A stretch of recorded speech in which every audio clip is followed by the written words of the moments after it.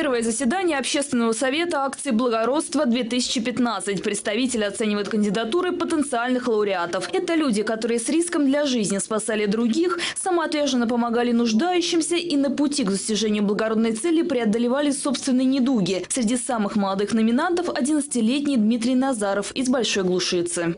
Дело было в марте 2015 года. Э, Весной когда еще на реке не растаял до конца лед, то есть э, они пошли со своим другом Ваней э, гулять э, там.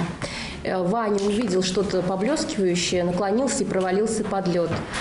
А тот не, не умел плавать.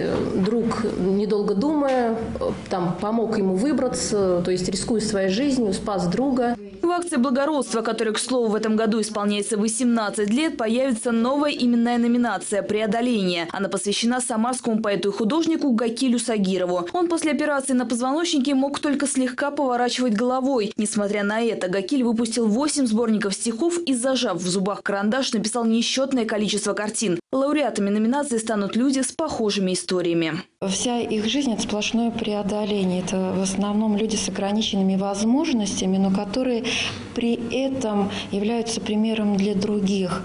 Они не только сами а, живут очень ярко, но еще при- помогают другим. Вот это самое удивительное качество у этих людей. Награждение лауреатов акции состоится в декабре во Дворце культуры железнодорожников.